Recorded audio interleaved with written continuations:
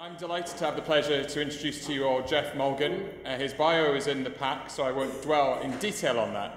Suffice it to say that one of the questions that I think has run through our conversation today has been, on the one hand, how people make the transition from preparing for government, from campaigning, for building social movements and electioneering, into actually implementing and delivering policy.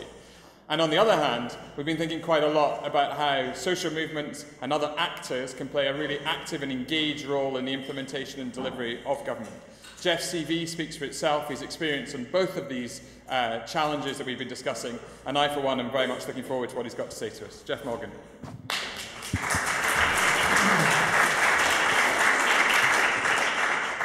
Okay, this is, this is working. I was told to speak a bit about expectations, and I realise your main expectation at the moment is a drink in a bit over a half an hour's time. So I'm going to try and keep my remarks relatively um, contained. And I thought I'd start with two, two vignettes, both from India. The first comes from about a year ago when um, uh, there was a huge anti corruption uh, movement in India led by Anna Hazare. You may remember seeing the crowds on the streets of Delhi. And that group stumbled across a remarkable campaigning method, which was to persuade people to make a phone call to a number, but then to ring off before it was answered. It was called the missed call uh, campaigning tool. 35 million people used this method to register support for the anti corruption campaign, which I think is claimed to be the biggest mobilization on one issue by one group of people ever in human history. A brilliant idea which has since spread to other countries, but almost a metaphor of what can go wrong in the relationship between citizens and a state when you express yourself through a non communication with the state. And it's brilliant in a way because you get the SMS details to send messages back. So that, that's one vignette. The other also comes from India, where I was a couple of weeks ago visiting Pratham, uh, an organization some of you may know, which is an NGO involved in education. They've now reached over 30 million young people, helping them with reading, using essentially a volunteer workforce and volunteers training other volunteers to improve educational outcomes. A very Indian organization in many ways, but also one with parallels here if you go to the primary or secondary schools around here, or indeed if you go to the hospital, you'll find there are paid professionals teaching, curing, and so on. But you'll also find those public services have always depended massively on volunteer labour. It's usually been estimated about a half a million volunteers in the health service in this country, about the same number in education. And the picture of a sort of top down monolithic public service has never been true. So these are two pictures of sort of people power one angry, hot, frustrated, the other in a way routine, everyday, fairly calm. And they're both sort of realities of what I think we're talking about here people power and politics. And they both point us, I think, to what I assume so lies behind today's discussion, which is um, how we refine the Gettysburg Address. Now, all of you will remember the Gettysburg Address, probably word for word, which I don't. But uh, Lincoln uh, talked of democracy as government, I can never remember which order it is, of the people, by the people, for the people. But in a way, we're also now talking about a fourth preposition, with the people. What does it mean to govern with the people and not just to have 35 million missed calls? And how do we get beyond the polarization which you see in almost every country now where when we wear our hats as citizens, we feel like the journalists who were told by their editor, whenever you're talking to a politician, ask yourself, why is this lying bastard lying to me? Which I think is how many people feel.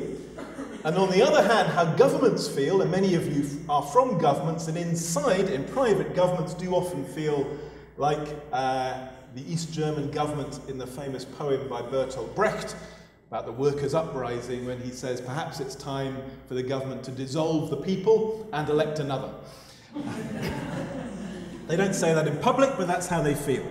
So I, I was asked to say a bit about expectations because I think everywhere, and including I've heard it today, there is a standard story about what's happening to government around the world which says public expectations are rising all the time, remorselessly, and there's no way for government to keep up, no way for you to keep up. Therefore, we are condemned to perpetual disappointment, failure, and frustration.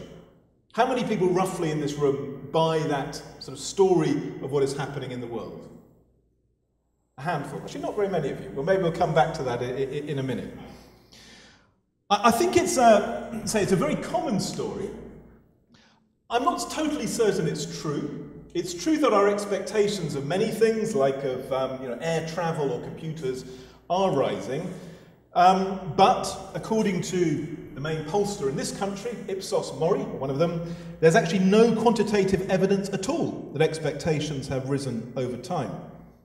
In the US, it seems this is a generation who expects their children to be poorer than they were, which again slightly fights against that, that rising expectations um, argument.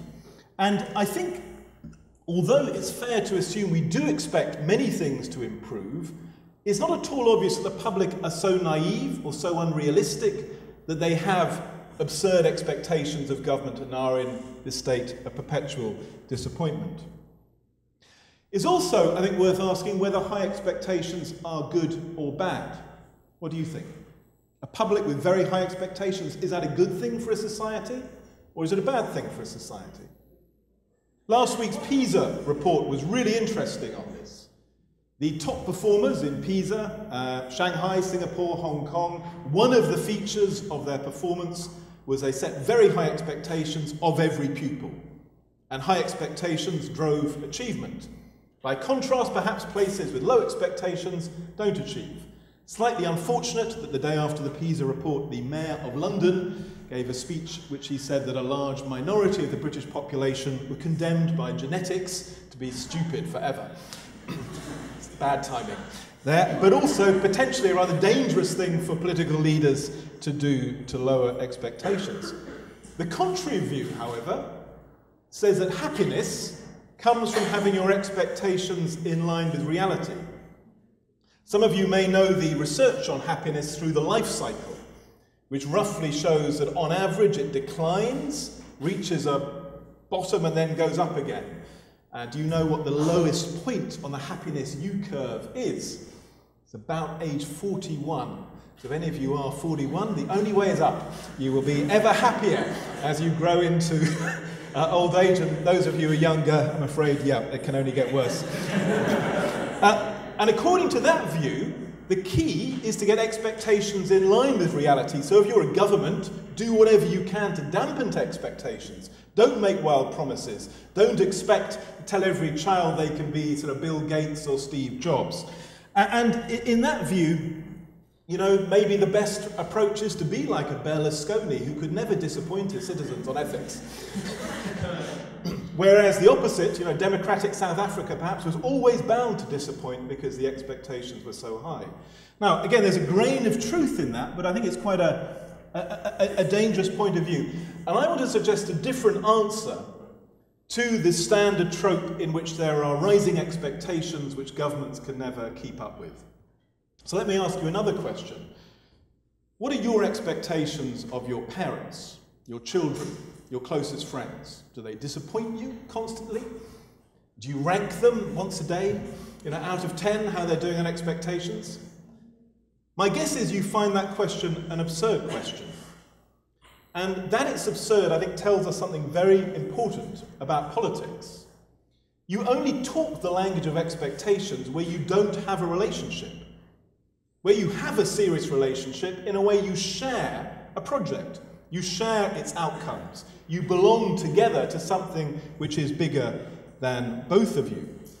And I think that part of the key to understanding the way out of the expectations trap is to think about government in relational terms. And much of what's been happening here today essentially is about thinking about government in relational terms. I've become increasingly interested in this through three, three reasons. One is perhaps an obvious one, it's seeing what's happened to the new public management theories of government, which became very fashionable in the 80s and 90s, which were all about marketization and targets, separating policy from delivery. You'll all be very familiar with those methods, and I worked in a government which implemented quite a lot of them fairly ferociously. We had a thousand targets at one point.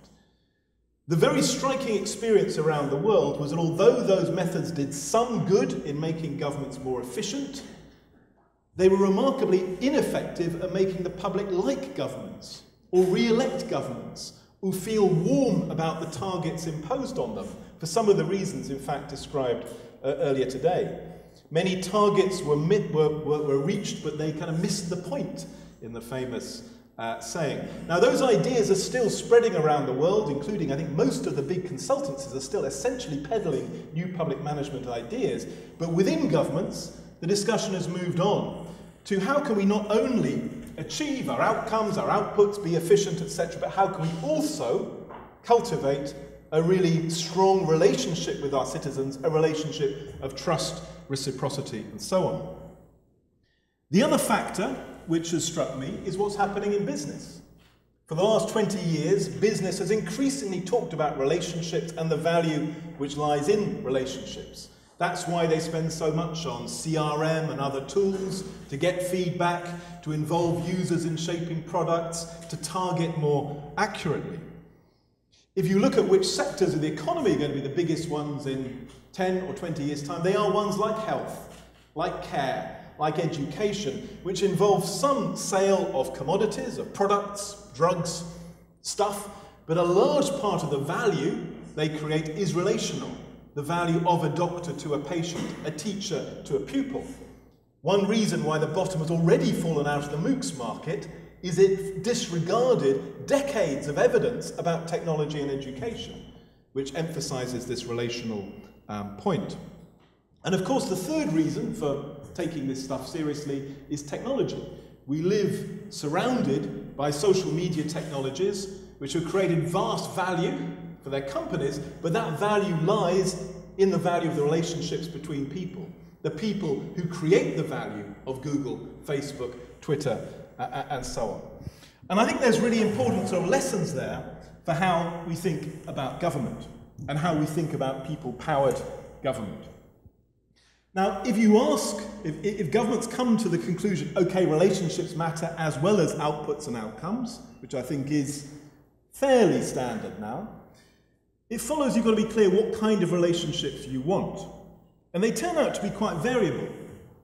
So some relationships you probably want with government are almost minimal. When you're paying taxes, you probably would like to be an Australian. In Australia, you can link the tax authorities with your bank account and simply sort of press a button to accept their calculation of your tax obligations, thus saving you many, many evenings to have fun, which sadly we don't get in this country. Licenses, all sorts of other things you want simple and frictionless. And there is still, I think, huge momentum towards automating government to make it more effective. India, again, is probably the most interesting example. Now, with the Universal ID project, led by Nandan Nilekani, has reached about 500 million people, on track to a billion people, with biometric ID as a platform on which you can run some public services, some welfare, some banking, thus bypassing the coercive, exploitative relationships of local power which otherwise siphons off money before it reaches people. And there are many, many other examples of automation still being uh, valuable. But I want to focus on the sort of things we've been talking about today, which I think are, are, are the other ones, where a change of relationship actually helps both state and citizen achieve their goals. And I'll do 30 seconds each on five or six different examples. Let's start with open data, which has been mentioned a lot. Uh, I seem to spend a lot of my life on open data at the moment. I'm generally an enthusiast for the extraordinary things which are possible. I don't know how many of you joined the Open Government Partnership in London a few weeks ago. Over a thousand people from 80 countries, I think, were there, all sharing experiences. Lots happening in transport, lots in other fields. And yet, the really striking thing about that gathering is something no one's mentioned today, most of the open data apps and tools coming out aren't really working. They're not really being taken up by the public for a very, very simple reason. They've been developed by either the bureaucrats or the technocrats or the geeks who didn't actually bother asking anyone what they actually wanted. what would actually be helpful to them in their own lives. And interestingly, when you do ask that question, you get some quite problematic answers. So, one example of many is South Chicago, very poor area of that city. Guess what people most want from open data in South Chicago? What would you guess? They want real time crime data. They want to know a murder's been committed on that street, so I shouldn't walk there. How do the police feel about that? Not very good, so it's not going to happen. And uh, there's a whole series of examples of that kind where actually open data, which has started off as a slightly simplistic, rather top down movement, is in fact unlocking a different kind of conversation with the people, the public, about what data um, they want. Another example of this is, is evidence. And I spent some of my, my morning today with these, the British evidence community. We've, we've gone through a rather strange process in the last year or two of creating a whole infrastructure around evidence, which I would never have guessed could happen. My organisation hosts something called the Alliance for Useful Evidence. It has 1,500 organisations in it committed to creating and using evidence in health, education, policing, and so on better. And we argued that the government should set up what works centres to be independent brokers of what works in all these fields. And to our astonishment, the government agreed. And there are now six of these open. Now, these are in a way speaking truth to power. They will often tell government your very favoured policy isn't actually working, unfortunately. Uh, and there's quite a few of those.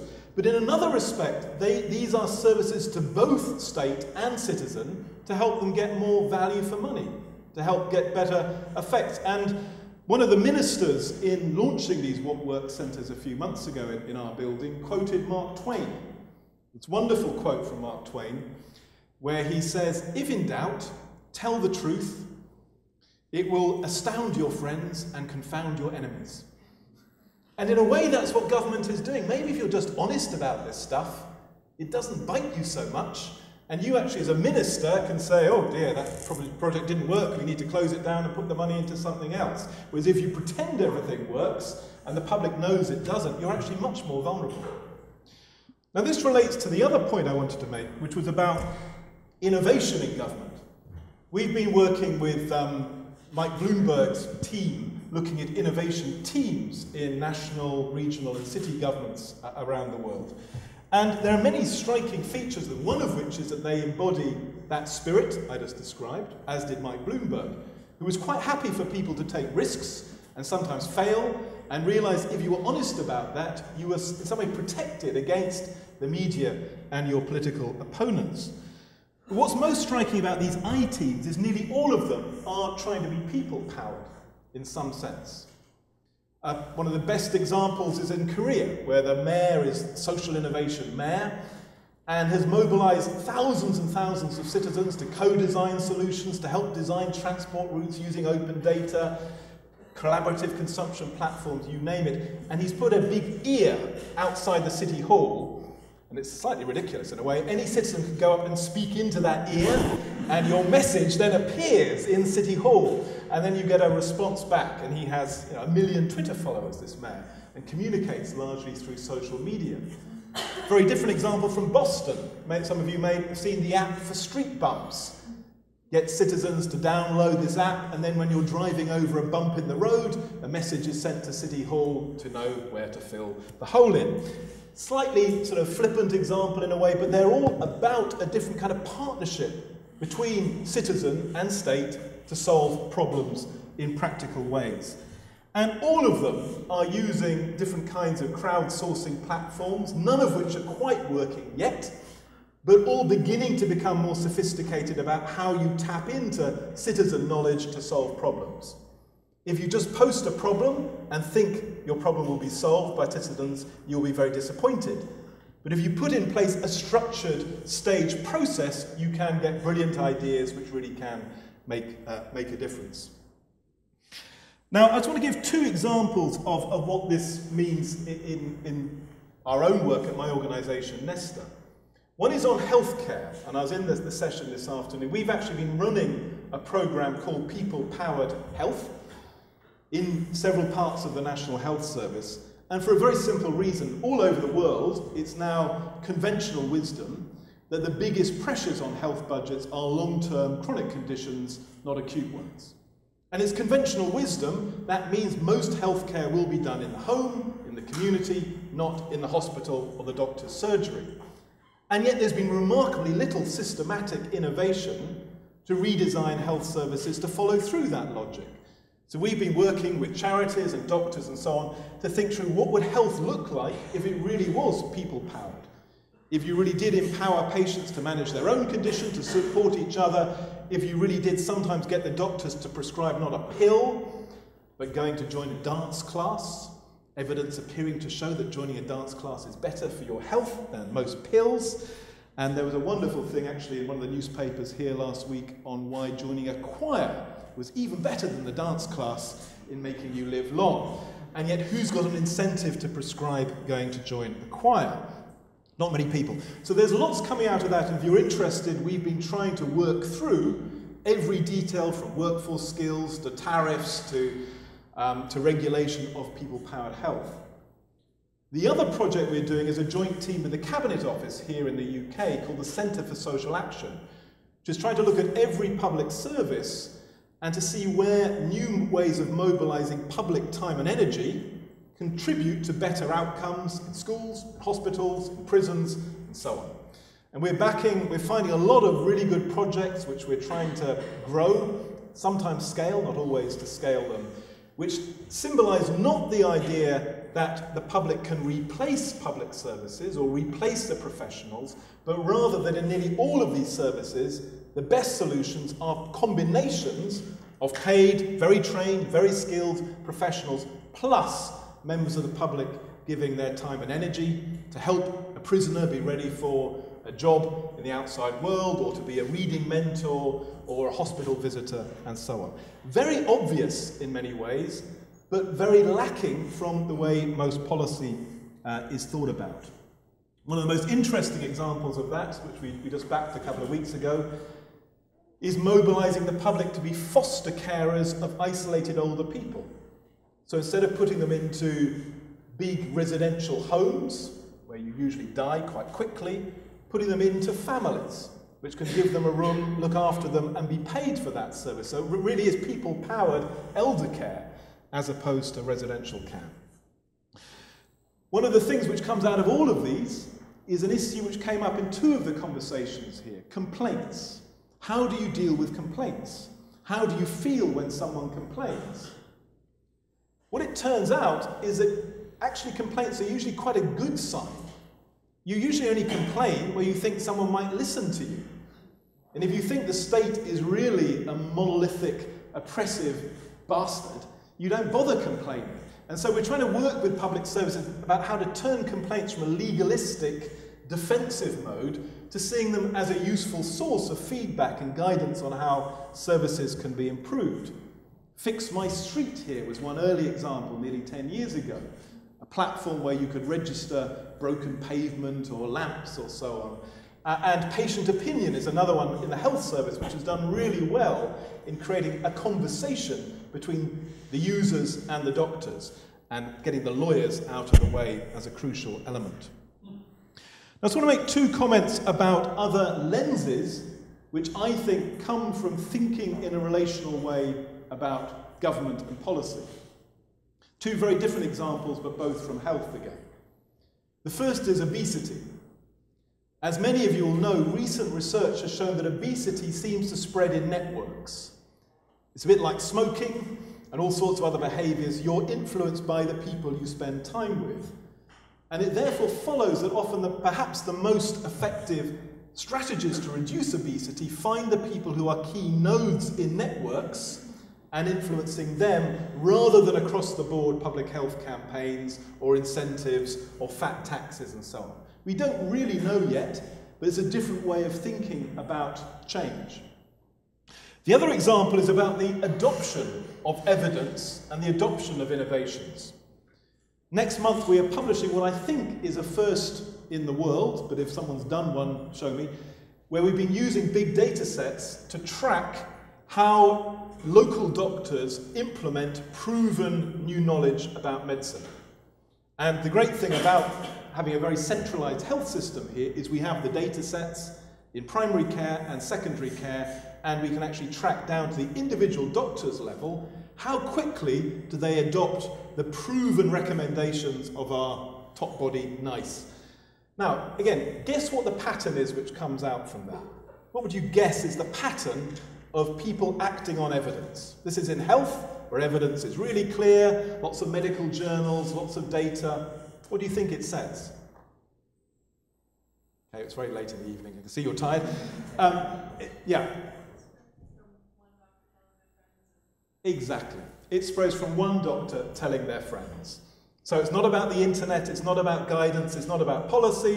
One doctor, one town starts doing something differently and they tell their friends and it spreads in a little network. Quite an important finding with huge implications for actually how you organize both evidence and innovation in public services. I could go on. I'm just going to try and draw, um, uh, so go on for hours, um, and I won't talk about the common patterns of organizations like the National Security Agency failing to think relationally and therefore running into big problems. But there's a whole story to be told uh, there. I just want to finish by thinking about democracy. Um, the, the, the Gettysburg Address is about democracy, government of, for, by the people. And the reason I, I earlier quoted Lying Bastards, Bertolt Brecht, is in a way I think we've moved into an era where the model of voting every four or five years for a government clearly doesn't work in relational terms all over the world, not just in the rich north, but also in Brazil or India or so on. People are looking for a different kind of interaction uh, with the state, more of a relationship than just you send messages up and the government then does things back to you, and you're meant to be grateful for if there's a correlation between what you ask for and what you get. That model doesn't seem to work anymore. We're seeing, I think, around the world, not what was expected 20 or 30 years ago, which was a move to perpetual referendum or push button democracy, which have been tried a bit, but usually disastrously. But we're seeing lots, much more interesting experimentation around democracy than I can ever remember. And here are a few examples. So many places are making partial moves from representative to direct. Uh, Iceland's constitution was the most striking example recently, which tried to combine a representative committee plus online engagement plus face to face engagement for the public to rewrite a constitution. They succeeded in rewriting the constitution. They even succeeded in passing a referendum from the public. Then the parliament blocked it. The old democracy blocked the new democracy, and we're now at an interesting moment there. Uh, lots of experiments with online platforms. They started off with simple petition devices, like where I used to work, 10 Downing Street put a petition site up about 10 years ago. The Pirate Party in Europe has liquid democracy, which is probably the most developed, but probably not in quite the right party to be uh, using it. And, and lots, of, lots of attempts to find ways for people to influence policy platforms in real time. The best of these at the moment, I think, is in Finland. I don't know how many Finns are in the room, but the Open Ministry in Finland is linked into the parliament and enable citizens to propose legislation, to comment, to improve on it, and then to see it all the way through uh, to implementation, again as a partnership between the formally elected representatives and the public taking part as collaborators. And of course, there are many other examples, participatory budgeting projects all over the world now, um, uh, and with some reasonably serious sums of money. This is a field very much in flux. There's an interaction between these sort of top-down projects coming out of governments, out of parliaments, and the more bottom-up ones. Jeremy Heimans here earlier talking about Avaaz. Uh, there's organisations like Change.org, uh, and, and it's still not clear how the bottom-up and the top-down will intersect. They're even more interesting in a country like China, where the Communist Party, there are quite a few Chinese people in the room, I know, but the ways in which the party monitors Weibo is in part a very detailed tool of social control, But I think there's a grain of truth in the claims made by the party there that the detailed monitoring of social media activity allows them to respond to problems and issues at the local or provincial level much faster than the cumbersome old democratic models of the US Congress or a British Parliament. A self serving argument in some ways, but in other respects, a government employing thousands of people to monitor the real time complaints and issues and experiences of their people. Worth taking uh, note of. Now, lots, lots of, of lessons to be learnt from these new forms of democracy, and given the time, I won't go into those. One of the fascinating projects my organisation is going to be doing next year is working with our partners in Iceland, Finland, and Spain to design, and with the World Wide Web Consortium and Tim Berners-Lee to design next generation democratic platforms to try and work through what combinations of online, offline actually work in reinvigorating democracy. And it's clear that people, power, and politics actually has rather different logics at the different stages of democracy. Framing issues, generating or uh, identifying issues, generating options, scrutinizing options, turning them into policy, implementing policy scrutiny. These all turn out to require rather different methods. But I think, and maybe I'm wildly over optimistic, that we are in a period now where we have the potential to really redesign much of the really the DNA of how politi politics works in democracies and perhaps to avoid some of the mistakes of the past. What all of this means, I think, going back to where I started, is a different way of thinking about expectations. If governments and politicians pretend to be gods, pretend to be omniscient, pretend to be omnipotent, and pretend that their citizens are children, then disillusion will set in as sure as night follows day. Equally, if they go to the other extreme and spend their time in perpetual consultation, never making decisions, uh, people will be pretty unhappy as well. But I think we're seeing the beginnings of some ways of solving these problems through, um, through transforming relationships. And because this is a, a, a university, uh, I'm going to end with a quote from a philosopher. You're very clever people. Ludwig Wittgenstein. He said that in life, we first learn belief and then we learn doubt.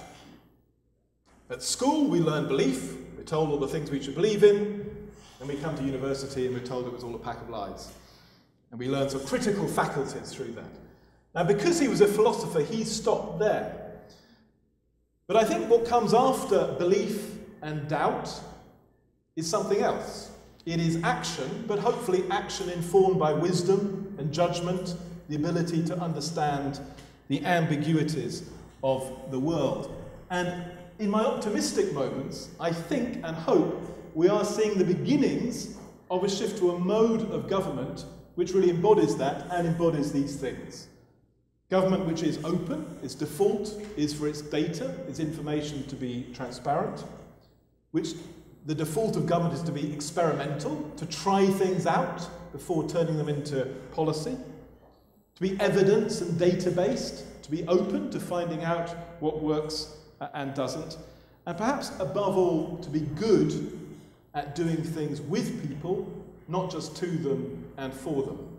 A set of skills and mindsets which are different from the ones of perhaps 10 or 20 years when the NPM was dominant and all you had to be good at was know, designing a quasi-market, or the models 50 years ago where all you had to be good at was sort of implementing in a technocratic way a new economic plan on the public. These are new skills and new approaches, but I think they're in reality the only way of getting out of the expectations trap. Thank you.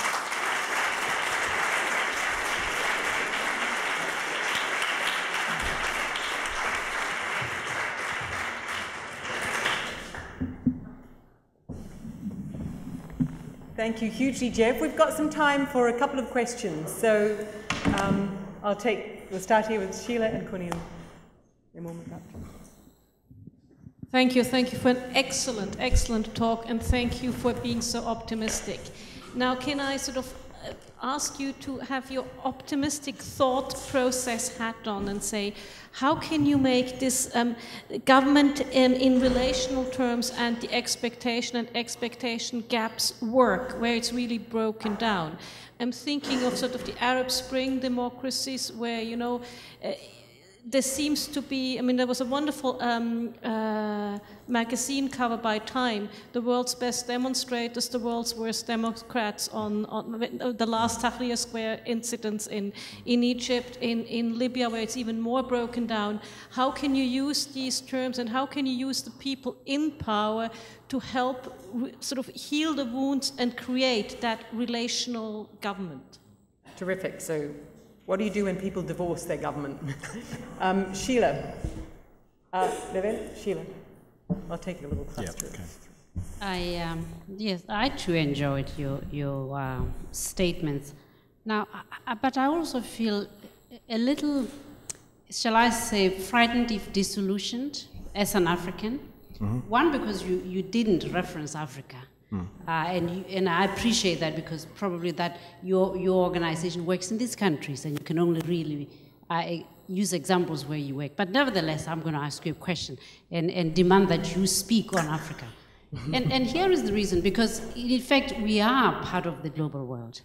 If we have working democracies in the West, uh, and a complete failure in another part of the world, it seems to me that the West will be under risk. And, and there are many examples of why we can't ring fence one part of the world. And, and so I'm imploring you to apply your mind to, while you are thinking of uh, Finland, if you wish, as the next generation democracy, and when you think of the gap between where Finland is today and where Africa is, how in God's name do we bridge that new democracy by not risking that uh, Finland goes charging at galloping speed while the rest of the world is watching in turmoil, albeit through Tahrir Square. What are your thoughts on Good. bridging that gap? So why, why Finland, not Botswana or Ghana? yeah. um, over this side, mm -hmm. up to there.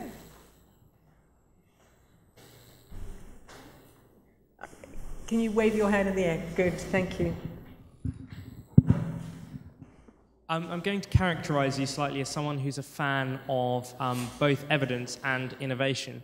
Um, but recently, some high profile figures have said that the two can't necessarily coexist. So, if you're always going to follow what works, then how will you ever get breakthrough innovation? Could you just talk a little bit about that? Thank you. Mm -hmm. Great. And last question, Rahul. Thanks so much for your talk. Um, I was wondering if you could comment uh, on not just technology to bypass local tyranny, as you mentioned with the UID program, but also technology uh, to renew existing institutions and to strengthen them. So for example, one of the, the cousins of the UID program in India is the Public Information Infrastructure Program. Uh, 250,000 grassroots elected organizations being linked up with broadband and with wireless technology.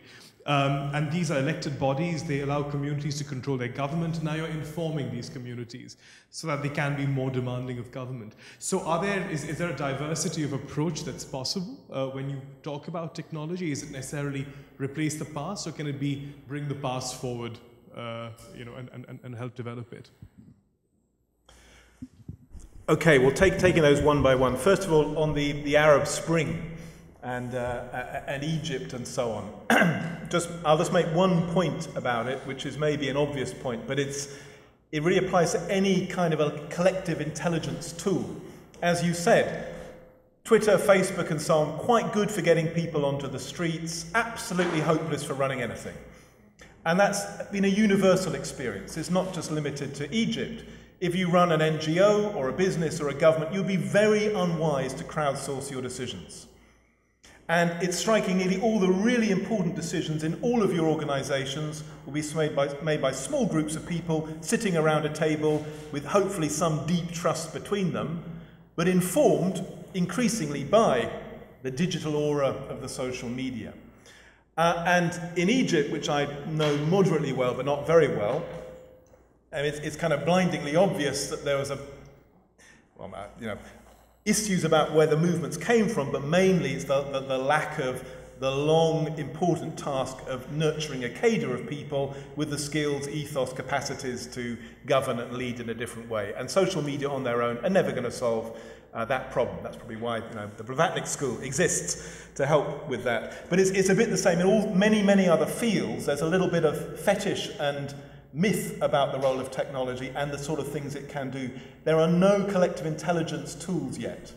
There are interesting tools which support collective intelligence, but it still ultimately depends on people interacting with each other. Blah, blah, blah. Secondly, in, in relation to, to Africa, I, I don't know Africa well. I, I did give examples from Asia and Latin America where we do work. My organization works, but we don't uh, in Africa. So, mea culpa. I don't really like talking about things I don't know anything about. What I would say is that the places of the world I do know show me how remarkably democracy can spread. Next to Finland is Estonia, which has only been a democracy for 20 years and now comes top on various rankings, including technology in government in the world. Um, I was last month in Colombia, you know, a remarkable transformation in one generation from where it was. And it wasn't that long ago people thought the norms and methods of democracy couldn't spread to particular parts of the world. There were cultural and other reasons why they could never take root elsewhere. Again and again, we found that not to be the case. So change can happen very, very fast in many fronts, but I would always advise people not to speak of that which they don't understand. That's why I didn't talk about Africa. Innovation and evidence, what you said is exactly right. I, I see innovation and evidence as having almost opposite mentalities. Innovation at its best is exploratory, creative, risk taking, widen your horizons, be fearless. The people who are good at evidence are, in some ways, small minded, narrow, obsessive, skeptical, you know, and these are complementary cultures. And I think you need both. In any system, you need plenty of people who, whose job it is to be creative, exploratory, and so on, and other people whose job it is to be the skeptics. And the, the tragedy is most areas of public policy have neither enough people whose job it is to be creative, nor enough people whose job it is to be skeptical and rigorous. Instead, you have some people who are a little bit in between, and therefore we get not very good public policy and, um, and public services. And there was one final, oh yeah, the, the panchayats and, and UID and so on, uh, I mean, I think you, you, you're in a sense saying the answer to your own question, that I think there is an interesting task to be done perhaps in every country to imagine what does it mean to be the most local unit of government now in the modern world. Um, we're doing a, quite an interesting project here in the UK around hyperlocal media.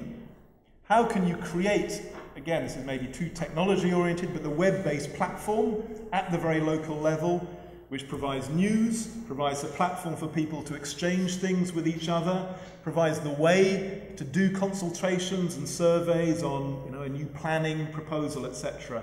And I've got a hunch that some of these was media tools will turn out to be part of the answer to your question.